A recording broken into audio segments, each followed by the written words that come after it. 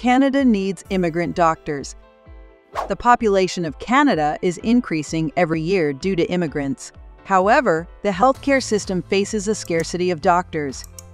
The country needs more immigrant doctors to cope with the accessibility of healthcare services for everyone. Let's get into more details on this topic.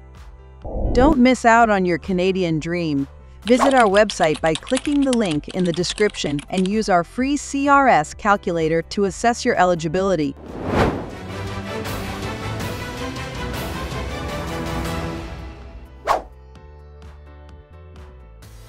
Let's start our today's video.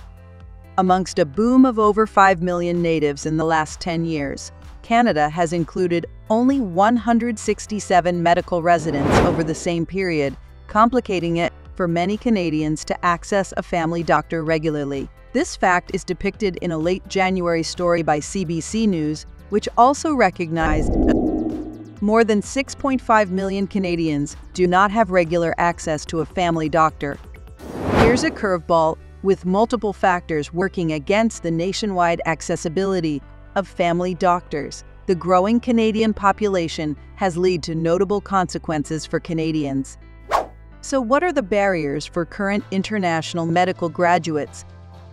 To put it another way, as per the Government of Canada data from December 2022, immigrants account for one out of every four healthcare sector workers in Canada. If we break down according to profession, immigrants constitute the following percentage of all healthcare workers in Canada. 23% of registered nurses, 35% of nurse aides and related occupations, 37% of pharmacists, 36% of physicians, 39% of dentists, 54% of dental technologists and related occupations. According to CBC News, foreign doctors, otherwise known as international medical graduates, often struggle with obtaining a medical residency in Canada due to low quotas for IMGs. Additionally, they struggle to follow their medical practice in Canada because the authorities running the residency system and medical schools prioritize their graduates. According to the president of the CMA, Dr. Kathleen Ross, the issue faced by Canada's healthcare system emerges as the country needs to produce more homegrown primary care doctors to keep up with the country's health needs.